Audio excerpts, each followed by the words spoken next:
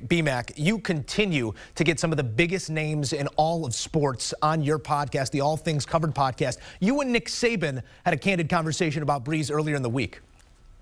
How different would, would your NFL coaching career have been, Coach, if you were able to sign Drew Brees to the well, Miami Dolphins? We, we had him. I mean, he didn't pass the physical, so I mean, and I had actually, you know, Jimmy Andrews, uh, who was, you know, he and Dr. Cain are our team doctors in Birmingham, and you know they operate on uh, do surgery on quite a few NFL players and are very highly respected. And we were going to sign Drew Brees as a free agent or trade for Daunte Culpepper, and both guys had been operated on in Birmingham by Dr. Andrews and Dr. Cain. Mm-hmm. So I to Birmingham to talk to Dr. Andrews about, okay, what do you think about these guys? They got a chance to come back. You know, it's just a tough decision, lots of money. Um, and and he actually said Drew Brees would be fine. Mm-hmm. After Drew Brees first, and he was more concerned about Daunte Culpepper's knee uh, and how would it affect his mobility, you know, in the future as a player. And um, you know, then our doctors in Miami didn't see it that way, but we had the deal done. So um, it probably would have changed, you know, my career um, because when that happened, I was like, you know, very, very upset that I couldn't control my destiny because of somebody else's decision as a coach. Because uh-huh. you know, in the NFL, if you don't have a quarterback, you don't have a chance. So there it is, a true butterfly effect, not only at the NFL level, but in the career of Nick Saban and then at the college level. Uh, BMAC, your first thoughts when you hear those comments out of coach? Uh, I kind of I wasn't surprised um, in in hearing what he said. Now I was surprised because I didn't know they actually had him signed. I didn't know that Dr. James Andrews, who's highly respected, you know, throughout the football world, actually said Drew Brees was the best option when it came to the medical standpoint. I didn't know that either. And I think just hearing and hearing Coach Saban talk about that, he still feels some type of way. Because I do believe if they signed Drew Brees and Drew Brees went on to be as healthy as he was in New Orleans, the Miami Dolphins would have been a better team. And one thing that Coach Saban did, did mention, you didn't get a chance to see, is that heck, Miami just pretty they just found a quarterback. Think about this. That was going back to 2006. They just found a quarterback. Now, granted, the jury is still out on Tua Tagovailoa, but think about the years that have went by with Miami searching for a quarterback. So me personally, hearing that story, I wasn't surprised, but I definitely was surprised to hear about uh, hear Dr. James Andrews say, you mm-hmm. guys should sign Drew Brees. And I can tell you this much, the Alabama fans love the Dolphins botched that signing because they got an opportunity to get Nick Saban. And, and we all know the rest is history with his success he's been having there at Tuscaloosa. Yeah, that quarterback search in Miami, some would argue, continues. Uh, we will see what Tua Tagovailoa can do as the quarterback of the Miami Dolphins. But now a quarterback search is on in New Orleans. JJ, as you look forward to the prospects, obviously Taysom Hill still on that roster, but is he the one or the 1A? Uh, where do you think the Saints go here from the quarterback position standpoint? It's hard to imagine the Saints have any room under the cap, and in fact, they don't have any room under the cap to bring anyone on today uh, if they wanted to.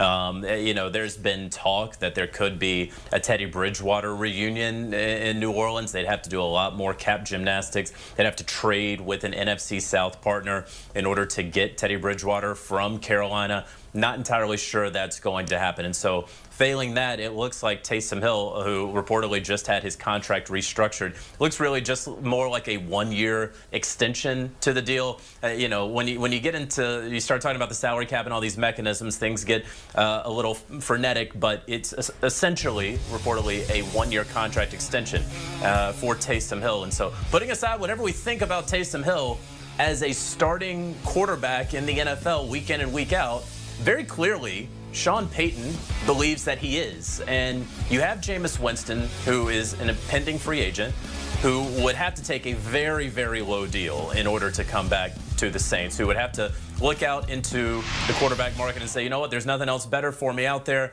I want to stick here, even though they picked Taysom over me when Drew went down during last season, even though Taysom's getting paid more again uh, than I certainly will. I still want to be here, even though there's not a Drew Brees to learn from. There's still a Sean Payton. So I'd have to imagine that Jameis is going to look for employment elsewhere. I'm not at all going to be surprised. Now, had you told me this a year ago, I would be surprised, but I'm not at all going to be surprised if in week one of the 2021 season, Taysom Hill is the starting quarterback of the New Orleans Saints.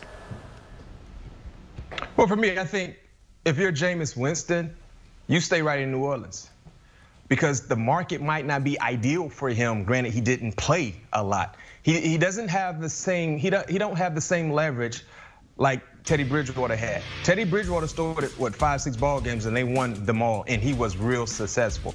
Jameis didn't get the opportunities, but I think if you're Jameis, you continue to ride it out with the New Orleans Saints. I agree with Jonathan. He probably will have to take a team-friendly deal because of the cap restrictions.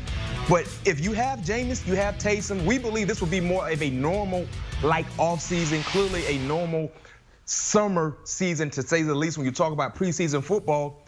And they compete. They compete. Because I think the jury is still out on Taysom Hill as a long-term answer there in New Orleans. Jameis has more experience.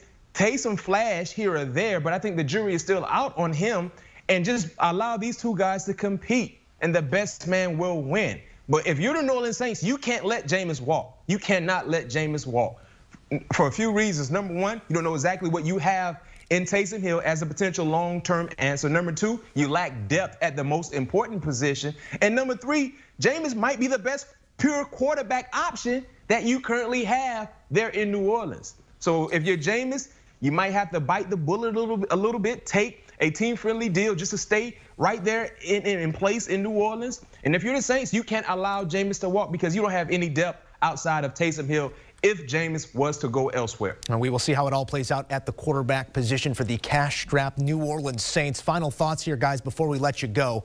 Uh, Drew Brees, with all due respect, did play in the Tom Brady, Peyton Manning era.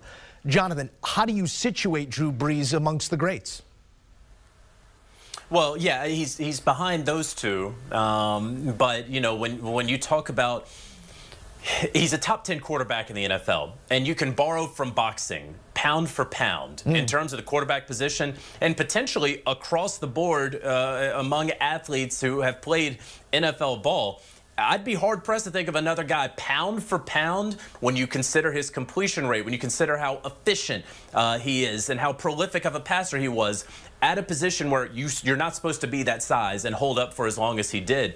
I'd, I'd say that Drew Brees is right up there among the greatest pound for pound uh, football players in, NFL, modern NFL history and probably uh, the greatest pound for pound quarterback in NFL history. This is a this is a very very intriguing question. and the reason why it's intriguing because I'm just going to put in this conversation the three goats. Tom Brady, Peyton Manning, Drew Brees. All outstanding quarterbacks, all quarterbacks that have won. But if you're talking about just pure talent, right? Pure talent. I think if you had to rank those three quarterbacks, I think you would have to put Drew Brees number one. Wow. I was waiting for you to I say it. I was waiting for there it is. Listen, Joe, Joe, Jonathan, if you're talking about just pure talent, undersized, but he has the numbers to back my statement. Yards, accuracy, and being able to do it in the manner in which he did it was something that we've never seen before. Look at Drew Brees in the pocket. He's a quarterback that's looking up because he couldn't see over the offensive line. For him to be as, as accurate as he's been, as he was in his career, that arm talent was magnificent. And, and you can say, well, he sometimes he was a game manager. No, no, no, no, no. He was an explosive quarterback as well. Peyton Manning arm talent was magnificent. The same can be said for Tom Brady, but I think if you talk about ranking their arm talent, Tom Brady probably would be third. I still would put Drew Brees over Peyton Manning because he was able to do everything those quarterbacks did, but be doing it. And when you look at the measurables, measurables being undersized, that's that's magnificent. So I mean, you talk about winning quarterbacks. Granted, you got to put Tom Brady, but you just talk about pure talent. If you talk about pure talent, arm talent, and then when you combine the above the shoulder game, the mentals, the cere- cerebral nature in which he played with. I mean, I don't know if you guys agree with me or not, but if you talk about pure talent, those three quarterbacks, I think I might put Drew Brees number one. That's a man who's killing the podcast game as well. You could tell. You could tell BMAC coming out here with a take or two. We appreciate the thoughts and the insights, both of you guys. And you can catch more from BMAC and P2 on the All Things Covered podcast. You saw a little snippet there. People like Nick Saban coming by to talk to our guys. Download, subscribe, All Things Covered today. Do you want a sports network that delivers everything that matters about the game? The highlights, the picks, the instant analysis, no yelling, no fake debates, no politics. Hit the subscribe button and never miss a moment.